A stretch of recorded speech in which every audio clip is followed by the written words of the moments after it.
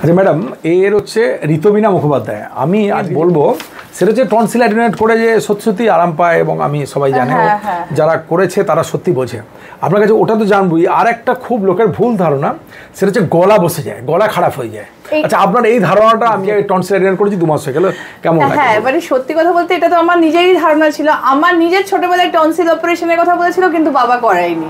কাজে আমিও ভয় পেতাম। কিন্তু ওর টনসিল অপারেশন করার পর দেখলাম মানে গলার শটটা টোটালি চেঞ্জ এবং প্রত্যেক মানে ভালো হয়ে গেল। মানে মিষ্টি হয়ে গেছে সবাই শুনে মানে কেটে যায় না, basically ওর যারা পরিচিত মানে ওর গানের ম্যাম পর্যন্ত বলছেন তোর গলাটা এত সুন্দর শুনতে লাগছে।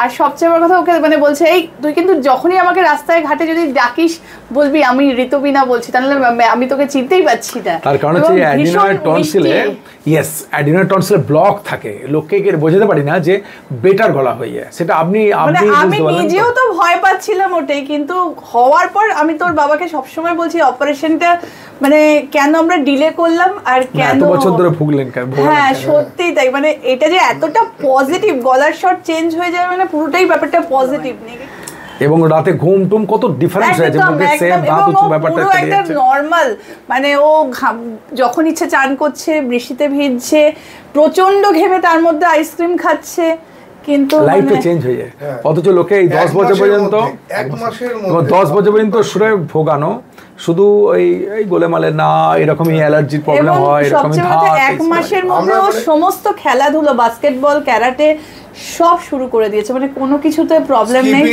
ও এখন একটা না একশো দশটা মানে একশো দশটা স্কিপিং করতে পারে একটা না এবং দমটাই দমটাই কমে যায় এবং বডি ওয়েট যেখানে ওর এতটা বেশি ওর বডি ওয়েটটা তো একটা সমস্যা কিন্তু তারপরেও ওর দম এত তফাৎ হয়ে যায় বুঝলে? এটা মানুষের জানা দরকার বেসিক্যালি অনেক পেডিটিশিয়ানরাও জানে অনেক মেডিসিন ডাক্তারও জানে না হোমিওপ্যাথি এদিক ওদিক করে ঘুরে বেড়ায় এসব লোকজন।